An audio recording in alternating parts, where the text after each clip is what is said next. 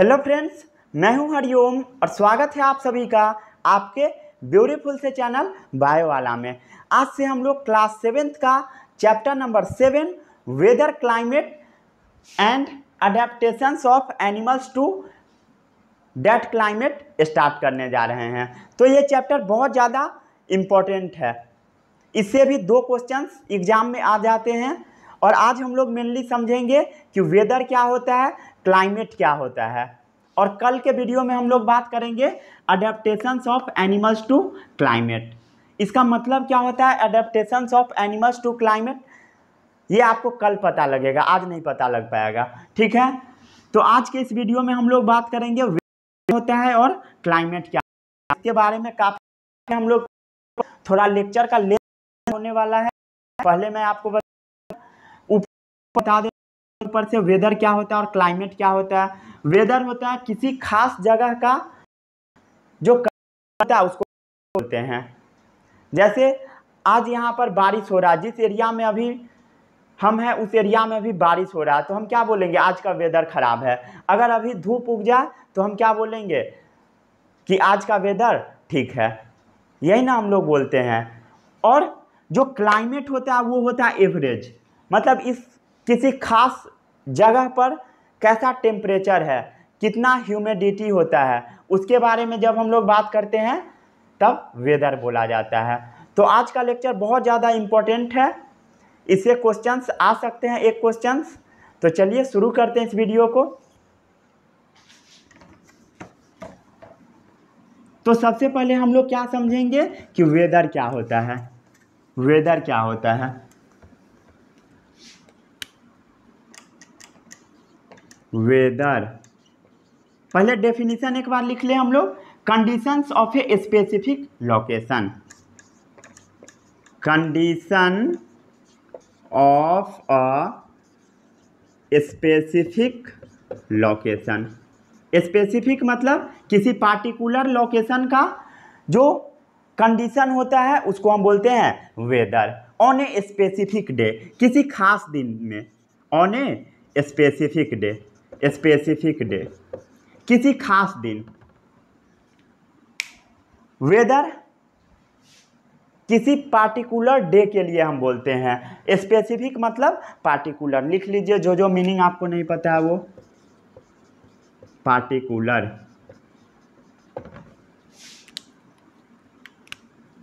अब हम लोग बात करते हैं क्लाइमेट क्या होता है। दोनों में पहले डिफरेंस हम लोग समझ लेते हैं, तब इसके बारे में हम लोग डीप में पढ़ेंगे।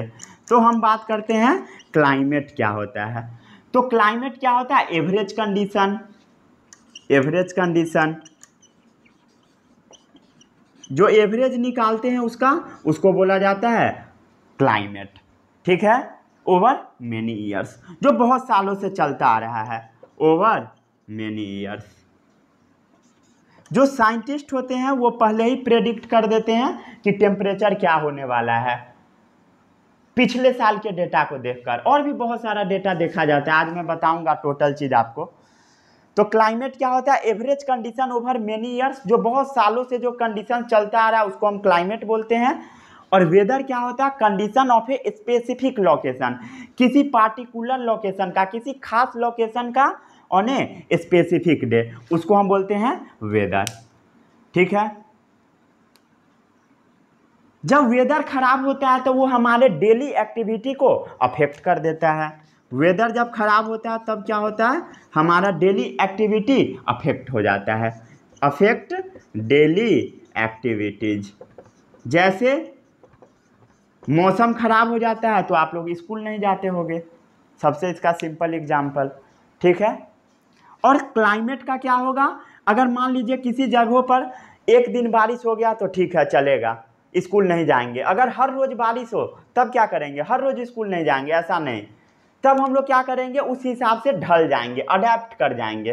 तो उसी के बारे में मेनली आपको पढ़ना। अडेप्ट मतलब ढल जाना। जैसे ठंड पड़ने लगेगा तो हम लोग स्वेटर पहन के कुछ व्यवस्था कर लेंगे। तो उसी को बोला जाता है अडेप्टेशन जब क्लाइमेट अगर हमेशा ख़राब होने लगेगा, तब क्या करेंगे? हम लोग अपने लाइफस्टाइल को चेंज कर देंगे। वो हमारे लाइफस्टाइल को अफेक्ट करता है क्लाइमेट अफेक्ट लाइफस्टाइल ये हमारे स्टाइल को अफेक्ट करता है। स्ट्रक्चर को अफेक्ट करता है। सोशल स्ट्रक्चर को अफेक्ट करता है।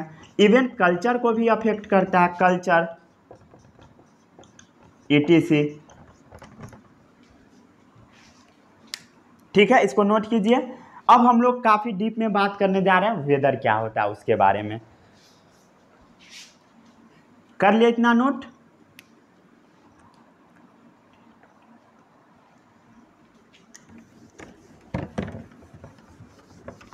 वेदर क्या होता है? Day to day conditions.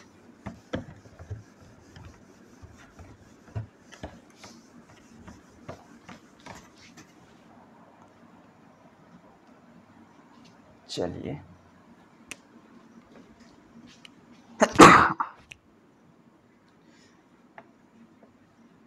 Weather. Weather क्या होता है? Day to day condition of the atmosphere. The day to day conditions of the atmosphere.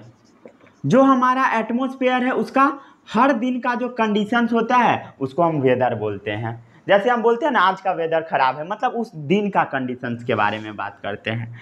At a place with respect to the at a place क्या चीज़ क्या चीज़ के basis पर हम करते हैं? जैसे टेम्परेचर कितना बढ़ गया है वाटर कंटेंट कितना बढ़ा हुआ है मतलब ह्यूमिडिटी रेनफॉल कितना होगा वाइंड स्पीड क्या है, ये सब कंडीशंस है, जिसके आधार पर हम वेदर का प्रेडिक्शन करते हैं। तो वेदर का पहले डेफिनेशन पढ़िए। The day to day condition of the atmosphere at a place with respect to the लिखिए with respect to the temperature सबसे पहला क्या है? टेम्परेचर के बेसिस पर ह्यूमिडिटी के बेसिस पर. ह्यूमिडिटी कितना है? ह्यूमिडिटी मतलब वाटर कंटेंट ह्यूमिडिटी के बारे में भी अभी मैं पढ़ाऊँगा आपको वाटर कंटेंट कितना है। एयर में जो वाटर प्रेजेंट होते हैं गैस के फॉर्म में वाटर वेपर के प्रेजेंट में, उसका कितना कंटेंट है? और क्या क्या रेनफॉल कितना होने वाला है? रेनफॉल रेनफॉल पर डिपेंड यही सब मेनली कंडीशंस है जिस पर ये डिपेंड होता है। इवन और भी कंडीशंस होते हैं जैसे वाइंड स्पीड ई ये सब पार्टिकुलर कंडीशंस है जिस पर किसी भी दिन का वेदर डिपेंड करता है। Is called weather at that place is called weather at that place weather at that place मतलब मेरे यहाँ का वेदर कुछ और होगा और आपके यहाँ का वेदर कुछ और होगा। वेदर किसी खास जगहों का होता है। ठीक है? और क्लाइमेट पूरा ओवरऑल एवरेज आ गया समझ में? जैसे आपसे कोई पूछेगा कि मैक्सिमम टेम्परेचर कब होता है, मैक्सिमम टेम्परेचर, दिन भर में मैक्सिमम टेम्परेचर कब होता है?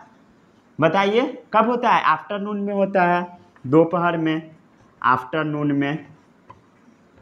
और मिनिमम टेम्परेचर कब होता है? अर्ली मॉर्निंग में। मिनिमम टेम्परेचर कब होता है? अर्ली मॉर्निंग में। इसको नोट कीजिए। अब हम लोग वेदर रिपोर्ट के बारे में बात करने जा रहे हैं। जो वेदर फॉरकास्टिंग होता है, जो मौसम विभाग होते हैं, वो कैसे रिपोर्ट देते हैं? ठीक है?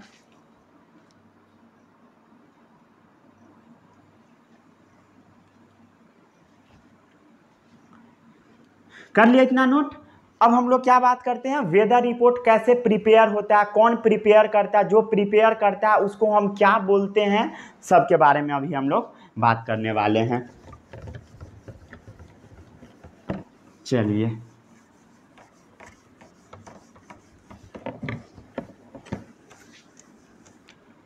हेडिंग लगाइए। Weather report.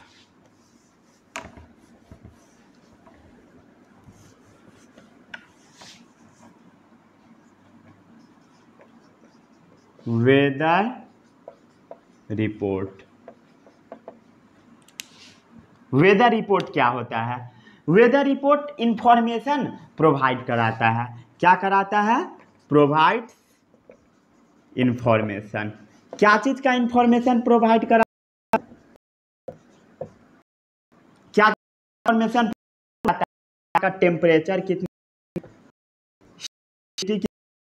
ह्यूमिडिटी कंटेंट कितना ह्यूमिडिटी कितना हो रहा है? वाइंड कितना स्पीड में चल रहा है? स्नोफॉल कितना हो रहा है? किसी जगहों पर अगर बर्फ़ गिर रहा है तो स्नोफॉल कितना हो रहा है? रेनफॉल कितना हो रहा है? रेनफॉल कितना हो रहा है? यही सब मेन कंडीशंस है। और भी चीज़ जैसे बताया जाता है, जैसे ई टी सी कीजिए पहले। और और कंडीशन लिखिए, जैसे और क्या क्या बताता है? Weather report time of sunset पहले सनराइज लिखिए time of sunrise time of sunset sunrise मतलब सूर्योदय। सूर्य जब निकलता है, उसका क्या टाइम है? सूर्य कब डूबेगा, उसका टाइम बताएगा। कौन बताता है? वेदर रिपोर्ट वाला। और क्या क्या बताता है? जैसे टाइम ऑफ़ मून राइज चंद्रमा कब निकलेगा और क्या बनाएगा? टाइम ऑफ़ मून सेट चंद्रमा कब गायब होगा? ये सब बताया जाता है मेनली ठीक है? अब हम बात करते हैं, ये रिपोर्ट तैयार कौन करता है? तो ये रिपोर्ट तैयार करता है मेट्रियोलॉजिकल डिपार्टमेंट के आदमी। ठीक है? Weather report are prepared by लिखिए।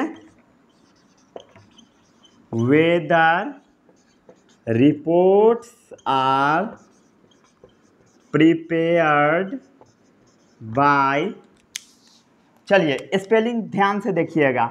M E T E R O M E T E O R O L O G I दिख रहा है सभी को? L O G I C L meteorological department हाँ सही है। हम्म। हाँ मेटियो मेटियो, पढ़िए पहले, meteoro meteoro meteorological meteorological meteorological meteorological department पढ़ना पहले सीखिए। मेटियोरो मेटियोरो मेटियोरो। पाँच बार बोलिए इसको। मेटियोरोलॉजिकल डिपार्टमेंट कौन तैयार करता है? मेटियोरोलॉजिकल डिपार्टमेंट ठीक है, बोलने आ गया?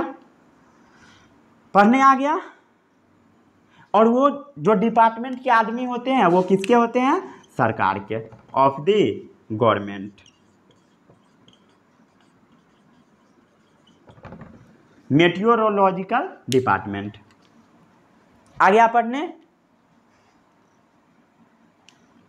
अगर सही से प्रोनाउंसिएशन नहीं हो पा रहा है तो इसको लिखिए हिंदी में। मेट्योरो मेट्योरो लॉजिकल मेट्योरो लॉजिकल पाँच बार, दस बार बोलिएगा, अपने आप हो जाएगा। चलिए। अब हम लोग बात करने जा रहे हैं मेट्योरोलॉजी क्या होता है? जब हम लोग इसकी क्या करते हैं? जब इसके बारे में हम नॉलेज गेन करते हैं स्टडी करते हैं, उसको बोला जाता है scientific study of the atmosphere meteorology meteorology क्या होता है? Scientific study of the atmosphere जब हम लोग एटमोस्फेयर की साइंटिफिक स्टडी करते हैं, तब बोला जाता है मेट्योरोलॉजी क्या चीज़ के बेसिस पर होगा? अब तक तो आपको ही गया होगा। Temperature wind it is speed पर. प्रेशर स्पीड पर. लिख लीजिए। ठीक है?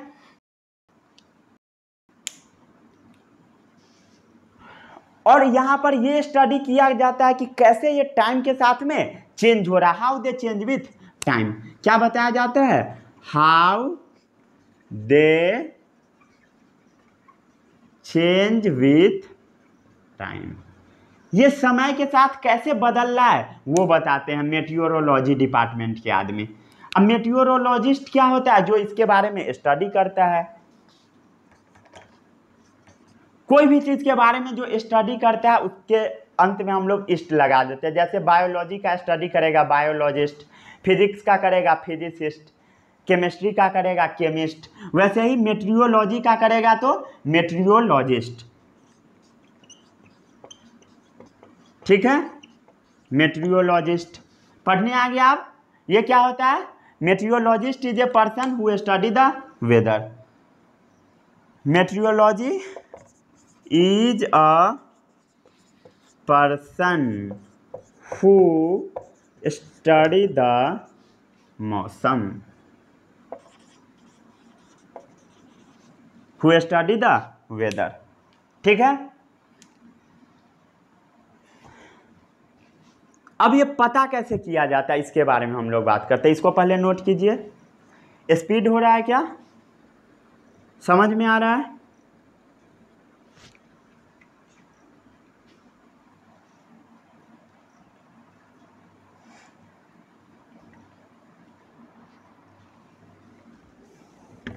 चलिए। अब हम लोग बात करते हैं कैसे ये पता किया जाता है।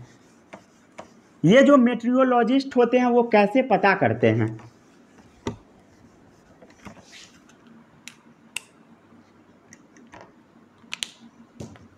जो वेदर एक्सपर्ट होते हैं, जो वेदर एक्सपर्ट जो मौसम विभाग के एक्सपर्ट होते हैं, वो कंप्यूटर के हेल्प से बताते हैं। With the help of computer बहुत सारा उसमें एडवांस टेक्नोलॉजी का मशीन लगा होता है। उसके हेल्प से बताया जाता है टेक्नोलॉजी कंप्यूटर टेक्नोलॉजी के हेल्प से बताया जाता है। And data from and data from earth station और जो यहाँ का डेटा होता है, इसके आधार पर बताया जाता है। अर्थ स्टेशन के डेटा के आधार पर। जो यहाँ का स्टेशन होता है, उसके डेटा के आधार पर बताया जाता है। यहाँ का जो मौसम होता है, उसके विभाग, उसके आधार पर बताया जाता है और सेटेलाइट का भी यूज़ किया जाता है। एंड सेटेलाइट्स सेटेलाइट्स का भी यूज़ किया जाता है। To predict to predict weather weather को प्रेडिक्ट करने के लिए। कोई दिक्कत नहीं है? To predict the weather and this is known as इसको क्या जाना जाता है नाम से?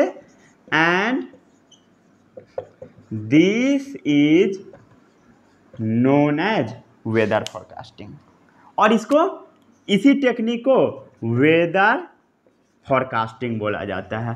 क्या होता है वेदर फॉरकास्टिंग पढ़िए बोर्ड पर से।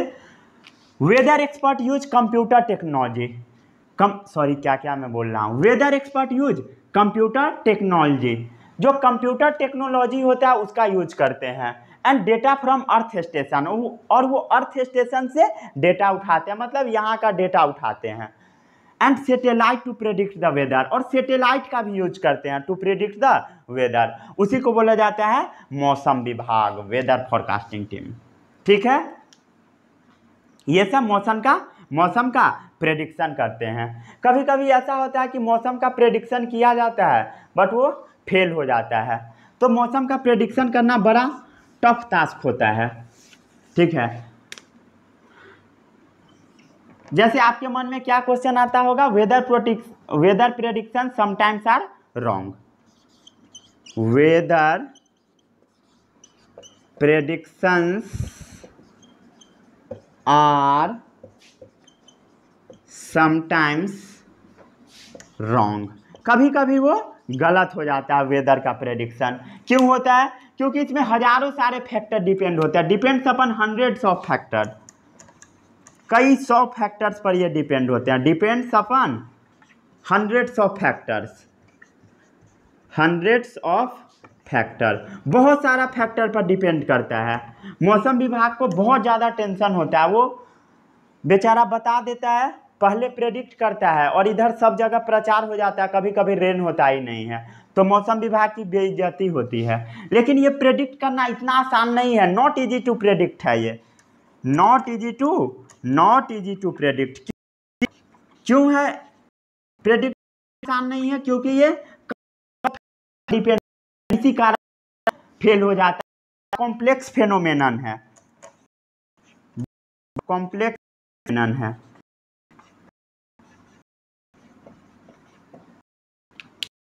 इसकी पूरी टीम होती बहुत बड़ा बहुत बड़ा पड़ता है इसके ठीक है?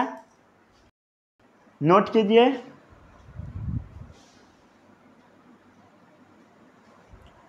कर लिए इतना नोट डाउन रब कर दूँ? चलिए। अब हम लोग बात करते हैं what causes changes in weather weather कैसे कैसे चेंज होता है? उसके बारे में हम लोग बात करते हैं। क्या क्या कारण होता है जिससे वेदर चेंज होता है? What causes change in weather तो वेदर चेंजिंग मेनली सन के कारण ही होता है। सन के कारण, जो सूर्य है, उसके कारण।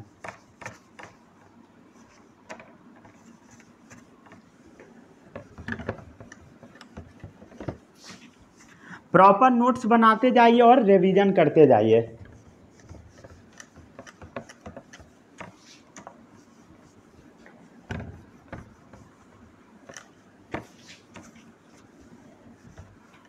चलिए what causes changes in weather heading लगाइए। What causes changes in weather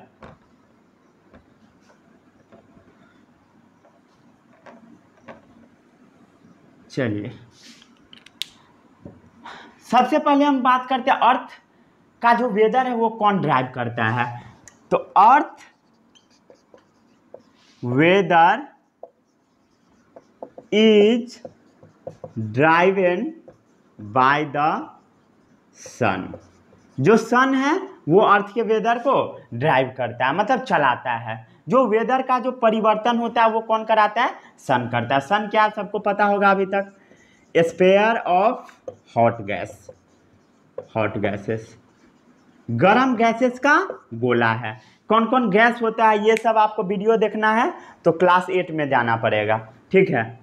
spare of hot gas मतलब स्पेयर क्या होता है? गोला। जैसे फुटबॉल क्या है? स्पेयर है। तो वो गोला है बड़ा सा गोला है हॉट गैसेस का गर्मा गर्म गैसेस का। ठीक है? अब इसमें होता क्या है? तो सन से एनर्जी आता है सन से जो लाइट आता है, वो अर्थ के सरफेस पर पड़ता है। सन से जो लाइट आता है सन सन से जो लाइट आता है, वो अर्थ के सरफेस पर पड़ता है वाटर बॉडी पर पड़ता है। इसी कारण से वेदर का परिवर्तन होता है। Energy observe and reflected by the earth surface पर डिपेंड करता है। Energy absorbed and reflected by the earth surface जो एनर्जी एब्जॉर्ब होता है और रिफ्लेक्ट होता है अर्थ सरफेस करता है, उसी पर डिपेंड होता है अर्थ सरफेस ठीक है? ओशंस ओशंस भी डालिए. ओशंस का जो सराउंडिंग होता है, उसको भी डालिए एंड द सराउंडिंग ठीक है? Energy absorb and reflected by the earth surface oceans इस सब पर डिपेंड करता है. And the atmosphere play important role in determining the weather of a particular place और जो एटमोस्फेयर होता है एटमोस्फेयर होता है, वो वेदर को डिटरमाइन कर देता है. नोट करते जाइए. जो एलिमेंट्स होते हैं वेदर के, उस पर भी डिपेंड करता है। जो टेम्परेचर होता है, वो उस पर भी डिपेंड करता है। बिसाइड द सन्स सन्स के अलावा जो सूरज है बिसाइड द सन जो सूरज है, उसके अलावा changes in different element of पर भी करता है।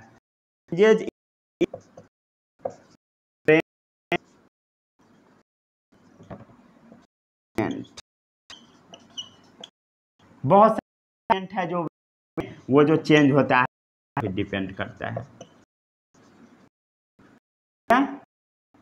ऑल्सो डिपेंड डिपेंड ठीक है? पर भी डिपेंड करता है।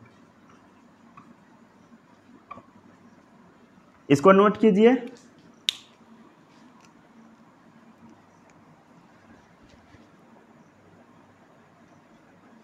कर लिया इतना नोट डाउन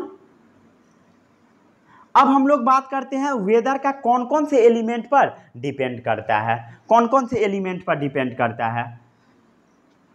जो यहाँ पर लिखा हुआ है beside the changes in different element of the weather कौन कौन से डिफरेंट एलिमेंट होते हैं जिसके चेंज होने पर ये डिपेंड करता है? एक्स्ट्रा सबसे पहला क्या है? सबसे पहला क्या है? जो इनर्जी एब्जॉर्ब करेगा एंड रिफ्लेक्ट करेगा from the earth surface ocean and the atmosphere और सेकेंड क्या है? ये वाला। अंडरलाइन कर लीजिए एलिमेंट ऑफ़ दी वेदर ठीक है? अब हम लोग बात करते हैं एलिमेंट क्या क्या है वेदर का। क्या क्या चीज़ पर डिपेंड करता है? रब कर दो इसको। वन टू थ्री स्टार्ट चलिए। जो सबसे पहला एलिमेंट है वो है टेम्परेचर सेकेंड क्या है? वेदर है। सॉरी वेदर नहीं रेनफॉल वेदर डिपेंड होता है। ठीक है? तो सबसे पहले लगाइए heading. Elements of the weather. और इसमें सबसे पहला लगाइए temperature. Elements of weather.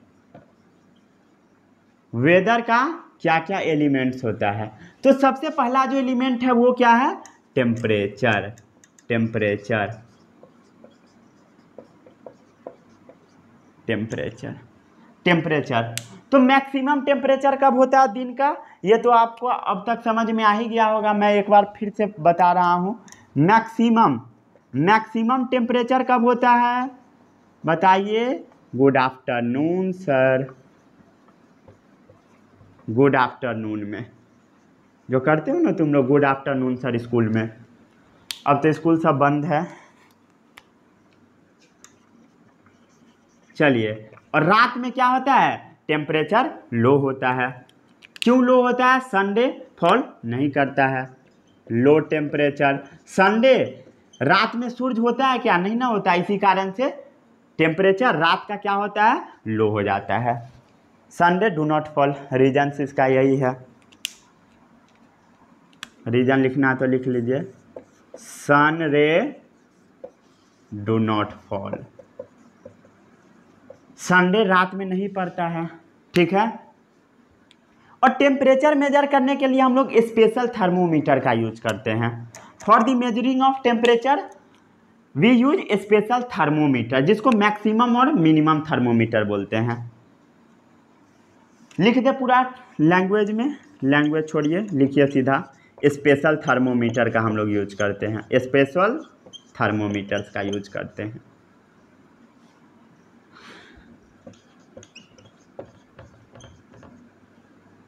क्या चीज़ मेजर करने के लिए? टेम्परेचर मेजर करने के लिए। जिसको क्या बोला जाता है? Maximum and minimum thermometer. Thermometer के बारे में आप पढ़े हो कभी पहले? कोई चैप्टर में? याद है? हीट चैप्टर में मैं आपको पढ़ाया था। नहीं पढ़े हैं तो जाकर पढ़ लीजिएगा एक बार। सिंपली बस इतना पॉइंट याद रखना है आपको कि वो जो स्पेशल थर्मोमीटर का यूज़ किया जाता है टेम्परेचर मेजर करने के लिए, उसका नाम है मैक्सिमम और मिनिमम थर्मोमीटर और आपको कुछ याद नहीं रखना है। ठीक है, अब हम लोग बात करते हैं ह्यूमिडिटी और रेनफॉल के बारे में। इसको रब कर दूँ अच्छे से? अच्छे से पहले नोट कीजिए।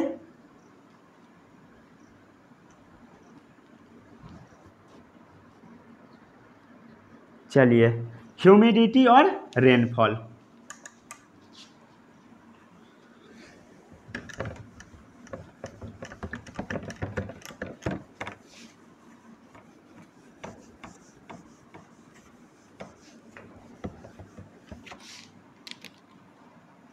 हेडिंग लगाइए humidity and rainfall humidity and rainfall humidity क्या होता है? जो वाटर कंटेंट होता है amount of water vapour present in air क्या होता है? Amount of water vapour present in air जो हवा में वाटर वेपर प्रेजेंट होता है, उसी को हम बोलते हैं ह्यूमिडिटी ह्यूमिडिटी मेजर करने के लिए हम लोग किस इंस्ट्रूमेंट का यूज़ करते हैं? हाइग्रोमीटर ठीक है? क्या चीज़ के हेल्प से करते हैं? Hygrometer device use to measure humidity are hygrometer device use to measure humidity are hygrometer दिख रहा है सबको क्लियर?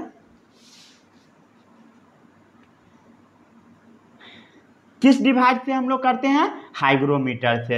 या बोला जाता है इसको साइक्रोमीटर भी। P H Y spelling check कर लू मैं। पी एस चारों। नहीं तो अभी तुरंत आने लगा साइटर चलिए, हो गया। P S Y P H R O M R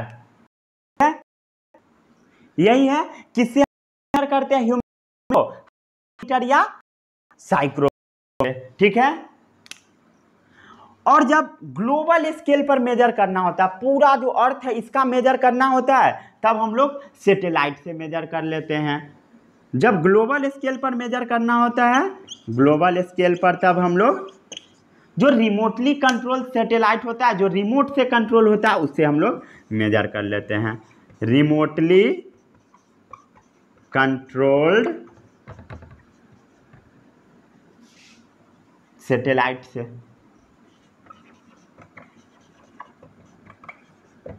ठीक है? रिमोट कंट्रोल होता है। ग्लोबल स्केल पर जब मेजर करना होता है, जब ह्यूमिडिटी बढ़ जाएगा तो रेन का चांस ज़्यादा होता है। Greater the humidity level more chances of rain. जब ह्यूमिडिटी लेवल बढ़ जाता है तो बरसात का चांस ज़्यादा होता है। ठीक है? इसको नोट कीजिए पहले। एंड वाइस वर्षा भी लिख लीजिए। मतलब इसका उल्टा। And vice versa vice versa का मतलब समझ में आता है सबको? नहीं आता होगा। रुकिए, मैं बताता हूँ। वाइस वर्षा मतलब होता है इसका उल्टा। बहुत जगह पर आपको बुक में मिलेगा वाइस वर्षा लिखा। इसका मतलब क्या होगा? जैसे greater the level of humidity more chances of rain मतलब ज़्यादा ह्यूमिडिटी लेवल ह्यूमिडिटी लेवल बढ़ गया तो रेन का चांस ज़्यादा है। और जब ह्यूमिडिटी लेवल कम गया तो रेन का चांस कम है। इसी का मतलब होता है वाइस वर्षा उल्टा। जैसे तुमको स्कूल में कोई गाली देगा तो तुम क्या करते हो? बोलते हो उसका उल्टा, तुम्ही को पड़ेगा। तो वही वाला यहाँ पर भी खेल अप्लाई होता है। ठीक है? यही ना सब स्कूल में करता है बचपन में। और रे, अब हम लोग बात करते हैं रेनफॉल के बारे में। तो रेनफॉल रेन गेज से नापा जाता है। क्या चीज़? रेन गेज से। थोड़ा मैं स्पीड में पढ़ा रहा हूँ, क्योंकि आज ज़्यादा पढ़ाना है।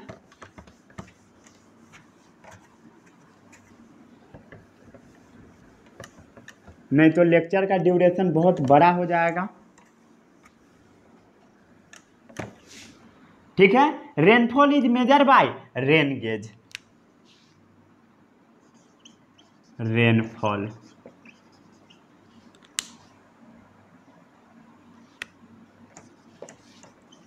rainfall is measured by rain gauge ये रेन गेज की हेल्प से मापा जाता है रेनफॉल रेन गेज की हेल्प से। इसमें रेन गेज क्या होता है? इसको रब कर दूँ। ऐसा एक सिंपल सा मार्किंग किया हुआ, एक बर्तन होता है मेजरिंग सिलेंडर इसको हम बोलते हैं। सिलेंडर शेप का गोला, कटोरा जैसा बीकर टाइप का होता है, इसको हम बोलते हैं मेजरिंग सिलेंडर मेजरिंग सिलेंडर बोला जाता है और इसमें फनेल लगा होता है ऐसा वाला। फनेल लगा होता है फनेल। ठीक है? क्या है? फनेल। और इसमें मार्किंग किया हुआ रहता है। जितना बारिश इसमें कलेक्ट हो जाता है उत, हम उत बोलते हैं उतना ही रेनफॉल हुआ है। ठीक है? क्या लगा हुआ है? फनेल लगा हुआ है। To collect rain water. इसमें क्या होता है? बारिश का पानी कलेक्ट हो जाता है। ऐसे ऐसे ऐसे ऐसे मार्किंग होता है इसमें। ठीक है? अब हम बात करते हैं ह्यूमिडिटी लेडन वाइंड के बारे में। ह्यूमिडिटी लादेन वाइंड के बारे में। ह्यूमिडिटी लादेन वाइंड जो होता है, वही वर्षा को लेकर आता है। ये टॉपिक इंपॉर्टेंट है। अभी जो मैं पढ़ा रहा हूँ, वो वाला, उससे क्वेश्चंस आ सकता है। चलिए हेडिंग लगाइए humidity laden winds humidity laden winds humidity laden winds इसका, इस हवा का मतलब क्या होता है? ऐसा हवा जो वर्षा लाता है, उसी को हम बोलते हैं ह्यूमिडिटी लादेन वाइंड्स ये कैसा हवा है? रेन लाने वाला हवा है रेन ब्रॉट वाला हवा है। ठीक है? कोई दिक्कत नहीं, इतना समझने में। चलिए, ये जो हवा होता है, वो दो टाइप का होता है। एक होता है साउथ वेस्ट मानसून और एक होता है नॉर्थ वेस्ट मानसून ये वाला काफ़ी इंपॉर्टेंट है। साउथ वेस्ट मानसून और सेकेंड होता है north west monsoon. South west monsoon and north west monsoon. जो साउथ वेस्ट वाला मानसून होता है, वो जून से सितंबर तक आता है। कहाँ से कहाँ तक? June to September. अब बड़ा हेवी रेनफॉल होता है। जैसे जो गर्मी का सीज़न होता है, गर्मी का सीज़न जून टू सितंबर का सीज़न उसमें साउथ वेस्ट मानसून आता है। साउथ वेस्ट मानसून क्या होता है? उसके बारे में हम लोग अभी पाँच मिनट में तुरंत बात करने वाले हैं। ये जो मानसून होता है, इसमें हेवी रेन होता है हेवी रेन इसमें बहुत ज़ोरदार बारिश होता है। और जो नॉर्थ वेस्ट मानसून होता है, वो नवंबर में स्टार्ट होता है। कब से? धान के सीज़न में। समझ में आ रहा है सबको? क्या बात है, क्या बात है। आ रहा है सबको समझ में?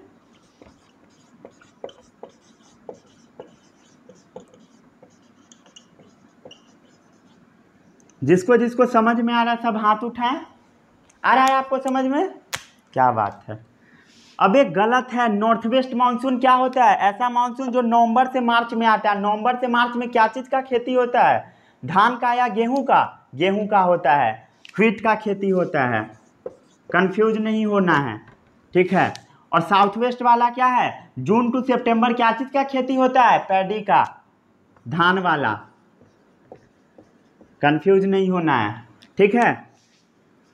और इसमें क्या होता है? जो गेहूँ का सीज़न होता है, उसमें बहुत कम वर्षा होता है। लाइटर रेन बहुत कम वर्षा होता है, ठीक है? इसको नोट कीजिए।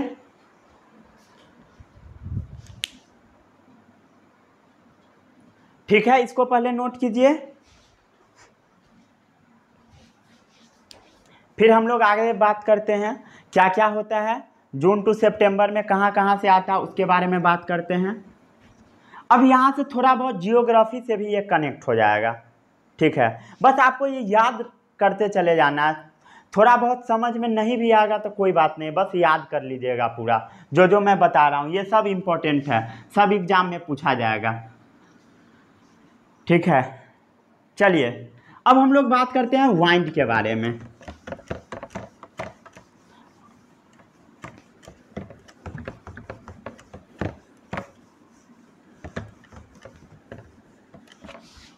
वाइंड के बारे में। वाइंड क्या होता है? सबको पता होगा अभी तक। Moving air is called wind जो हवा चलता है, उसी को हम बोलते हैं वाइंड चलिए, अब यहाँ से स्टार्ट होता है। जो साउथ वेस्ट वाला मानसून हो साउथ वेस्ट मानसून वाला वो ह्यूमिडिटी लेदेन होता है। Humidity humidity laden humidity laden winds from the Indian ocean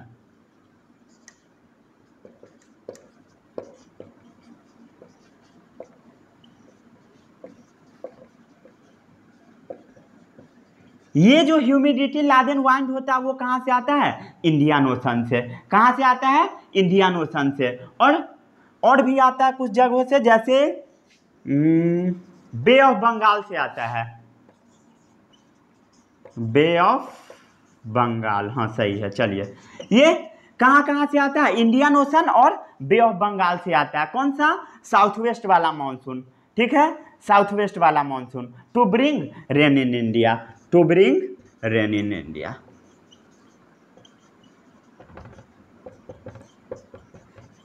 India में साउथ वेस्ट मानसून कहाँ से आता है? इंडियन ओशन और बे ऑफ़ बंगाल से। इसको बस आप पॉइंट आउट करके नोट डाउन कर लीजिए, ठीक है? इसको आप नोट डाउन कर लीजिए और इसको याद कर लीजिएगा कहाँ कहाँ से आता है। ये काफ़ी इंपॉर्टेंट है। थोड़ा बहुत कम समझ में आएगा, कोई बात नहीं है। बस इसको नोट करते जाइए। South west monsoon humidity laden wind from Indian ocean and bay of Bengal to bring rain in India. जो साउथ वेस्ट मानसून होता है, वो कहाँ से आता है? इंडियन ओशन और बे ऑफ़ बंगाल से। बस इतना याद रखिएगा, एक पॉइंट और कुछ नहीं। South west monsoon, Indian ocean and bay of Bengal. इसको नोट कीजिए।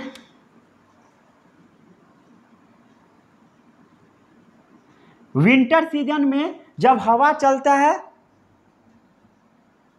तब कैसे हम लोग को ठंड लगता है? उसके बारे में हम लोग बात करते हैं। During winter when the wind blow from the mountain of north India जब नॉर्थ इंडिया के माउंटेन से हवा चलता है, तब हम लोग को ठंडा लगता है।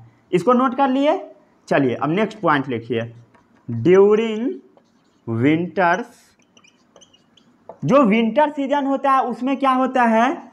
वेन द जो ठंडा वाला हवा होता है वेन द वाइंड्स ब्लो। जब हवा ठंडा वाला चलता है फ्रॉम द माउंटेन कहाँ से चलता है? फ्रॉम द माउंटेन वो कहाँ से चलेगा? माउंटेन्स वो माउंटेन्स चलता है कहाँ के माउंटेन से? नॉर्थ वाले रीजन के माउंटेन से। कई लोग को ये समझ में आ ही नहीं रहा होगा। ये जियोग्राफी का एक्चुअली पार्ट है, ठीक है? जो नॉर्थ इंडियन माउंटेन है, वहाँ से जो हवा चलता है, वही हवा आता है, ठीक है? Toward the north plains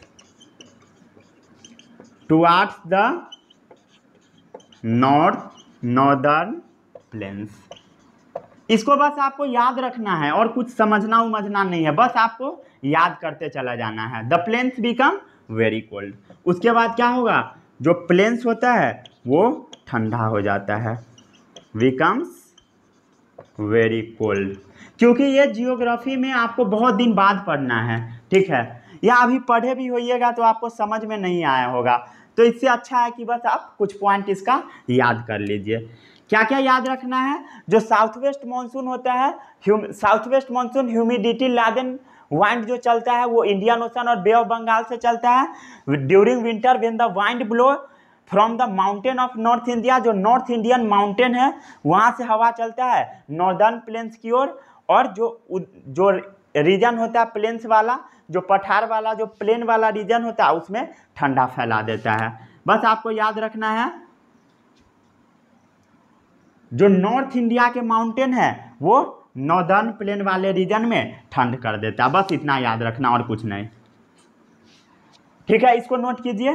थोड़ा बहुत ऐसे ही आपको कहीं कहीं पर प्रॉब्लम आएगा। अगले लेक्चर से आपको प्रॉब्लम नहीं आएगा, क्योंकि वहाँ पर जियोग्राफी का कहीं पर यूज़ नहीं आएगा। और इसको अगर मैं बताऊँगा तो बहुत ज़्यादा टाइम लग जाएगा, एक घंटा लगेगा कम से कम। पूरा जियोग्राफी बताना पड़ेगा आपको, कहाँ पर कौन सा माउंटेन है पूरा? रिवर लेक तब यह समझ में आएगा, उससे अच्छा इसको रख लीजिए। चलिए। और जब गर्मी का दिन होता है तो हवा कहाँ से चलता है? राजस्थान से चलता है। हवा कहाँ से चलता है? राजस्थान चलता है। दिल्ली की तरफ़ आता है और दिल्ली में खूब गर्मी पड़ता है। इससे होइएगा जो टेम्परेचर होता है। क्यों होता है? दिल्ली का क्यों होता है? क्योंकि रात से हवा जाता है गरम गरम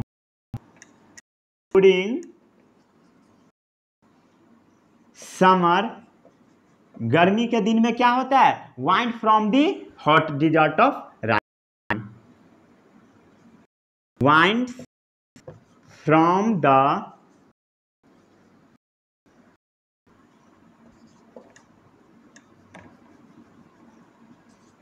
hot deserts of Rajasthan जो राजस्थान का हॉट डिजर्ट है, वहाँ से चले आता है। टुवार्ड्स दिल्ली टुवार्ड्स दिल्ली दिल्ली वाले साइड में। Towards Delhi and Delhi becomes very hot और दिल्ली में बहुत गर्मी पड़ने लगता है। एंड दिल्ली बिकम्स हॉट नहीं वेरी हॉट बहुत ज़्यादा टेम्परेचर हाई हो जाता है वेरी हॉट चलिए, बस आपको इतना याद रखना है। अब और क्या याद रखना है? राजस्थान से दिल्ली की ओर, गर्मी के दिन में हवा आ जाता है। और ठंडा में बस याद रखना है, जो नॉर्दर्न माउंटेन्स है, वहाँ से नॉर्दर्न प्लेन्स में चले आता है। माउंटेन क्या होता है? ऊँचा जगह। थोड़ा बहुत बता देता हूँ। चलिए, दो मिनट। माउंटेन क्या होता है? जो ऊँचा जगह होता है, ऊँचा जगह, ठीक है? और प्लेन्स क्या होता है? जो प्लेन जगह होता है, पठार होता है। तो ऐसा जो ऊँचा जगह है, वहाँ से हवा नीचे जगह पर आ जाएगा और नीचे वाले सरफेस को ठंडा कर देगा। उसी को बोला जाता है नॉर्दर्न प्लेन से नॉर्दर्न रीजन में आ जाता है ठंडा और खूब ठंडा पड़ने लगता है। During winter when the wind blow from the mountain of north India toward the north plains the plains become very cold बहुत ज़्यादा हम लोग को ठंड लगते लगता है, जो नॉर्दर्न प्लेन्स वाले रीजन है उस पर।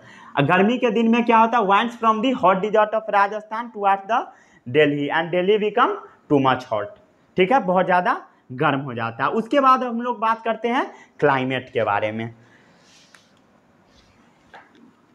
एन e आप लोग पढ़ रहे हैं या नहीं? एन e पढ़ा कीजिए। ठीक है। चलिए, पहले क्लाइमेट के बारे में हेडिंग लगाते हैं। क्लाइमेट। क्लाइमेट क्या होता है? क्लाइमेट क्या होता है? Average weather pattern taken over a long time average weather pattern taken over a long time जो एवरेज वेदर पैटर्न है, जो बहुत लंबे समय से चलता आ रहा है, उसी को हम बोलते हैं क्लाइमेट लगभग 25 साल का एवरेज लिया जाता है। हम लोग कह देते हैं 25 से 30 साल का ईयर 25 से 30 साल का हम लोग जो पूरा एवरेज होता है वेदर उसको कैलकुलेट करके हम लोग क्लाइमेट डिसाइड करते हैं। 25 साल। Is called climate of is called climate of that region या प्लेस डेफिनेशन पढ़िए average weather pattern taken over a long time से 25 से 30 साल is called climate of that place 25 से 30 साल का जो एवरेज वेदर होता है, उसी को हम बोलते हैं क्लाइमेट ठीक है?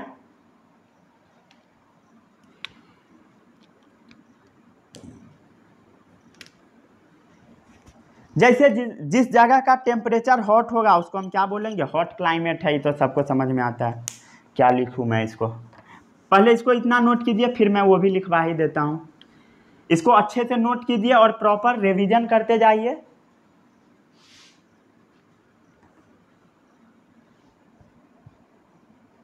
चलिए। अब आपको हेडिंग लगाना है क्लाइमेट क्लाइमेट के आगे वाला पोर्शन आप लोग तो लगा ही चुके होंगे हेडिंग मैं ही सिर्फ़ लगाता हूँ।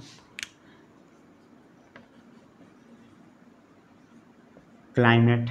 ठीक है, जब टेम्परेचर जिस भी जगह का हाई होता है, जिस जगह का टेम्परेचर हाई होता है मोस्ट ऑफ़ द टाइम उस जगह को हम क्या बोलते हैं? कि हॉट क्लाइमेट है वहाँ का। क्लाइमेट क्या है? हॉट है। क्लाइमेट हॉट है। और जिस जगह का टेम्परेचर जिस जगह का क्लाइमेट हॉट है, वहाँ पर बारिश भी हो रहा है तो उसको हम क्या बोलेंगे? वेट है। एंड और वहाँ पर अगर हेवी रेनफॉल भी हो रहा है और क्लाइमेट भी तेज है, तब हम उसको बोलते हैं climate hot and wet climate hot and wet गर्म क्लाइमेट और भींगा हुआ क्लाइमेट ठीक है? जैसे इसका एक टेबल दिया हुआ है एनसीईआरटी में, आप देखिएगा पूरा एवरेज कैलकुलेट कर करके दिया हुआ है। जनवरी के महीने में फेब्रुवरी के मार्च अप्रैल मई, जून दो प्लेस का दिया हुआ है। केरल का दिया हुआ है, तिरुवनंतपुरम का।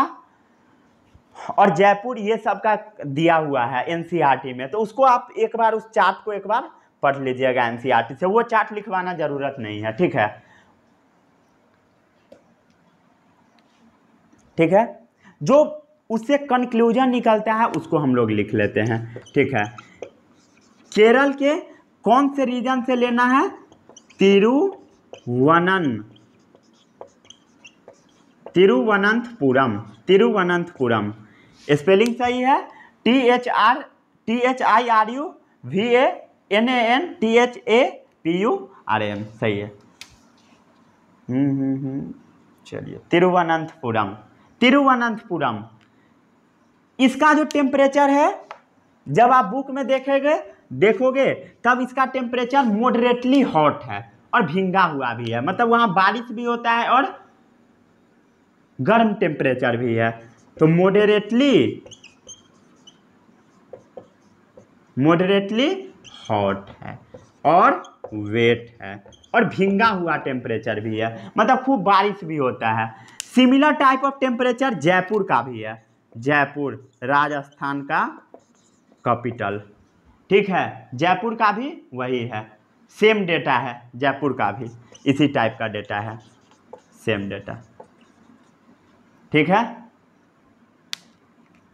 जम्मू कश्मीर के कंपेरिजन में इसका टेम्परेचर हॉट है। On the comparison of Jammu and Kashmir. Jammu और कश्मीर का टेम्परेचर लो होता है। जैसा कि आपको पता होगा। और इसके कंपेरिजन में ये बहुत हॉट है और वेट है। कंपेरिजन भी किया जाता है टेम्परेचर का। ठीक है, समझ में आ रहा है सबको? या नहीं आ रहा है? सब जा रहा है ऊपर ऊपर से। जम्मू कश्मीर में श्रीनगर का एग्ज़ाम्पल दिया हुआ है बुक में आपके। तो इसको भी नोट कर लीजिए। इसको भी नोट कर लीजिए। बस इसको आपको एज इट इज़ याद करते चले जाना है, ठीक है? थोड़ा एक और, एक दो और पॉइंट लिखवाना है। फिर आपका ये लेक्चर समाप्त हो जाएगा। बहुत लंबा मैं नहीं ले गया इस लेक्चर को। जो राजस्थान है, उसमें अभी क्या हो रहा है? उसका टेम्परेचर बहुत हाई होता है, पहले ये समझिए। राजस्थान का टेम्परेचर हाई होता है, क्योंकि वो डेजर्ट वाला रीजन में है। टेम्परेचर हाई होता है मोस्टली समर में बहुत ज़्यादा हाई होता है। टेम्परेचर मोस्टली उसका हाई ही होता है। In the season of summer के सीज़न में। और अचानक कुछ सालों से क्या हो रहा है कि ठंड के दिन में यहाँ का टेम्परेचर बहुत ज़्यादा लो हो जाता है। राजस्थान का टेम्परेचर बहुत ज़्यादा लो हो जा रहा है। सडनली वेदर पैटर्न में छेड़छाड़ हो गया इसके कारण से। ठीक है? विंटर सीज़न में क्या हो रहा है राजस्थान में? क्या हो रहा है? टेम्परेचर बहुत ज़्यादा लो हो जा रहा है। Temperature quite low quite low temperature बहुत ज़्यादा कम हो जा रहा है। ठीक है? इसको नोट कीजिए। हाँ तो यहीं पर आपका ये लेक्चर समाप्त होता है। और अगले क्लास में हम लोग बात करेंगे अडेप्टेशंस के बारे में। तो thank you all the best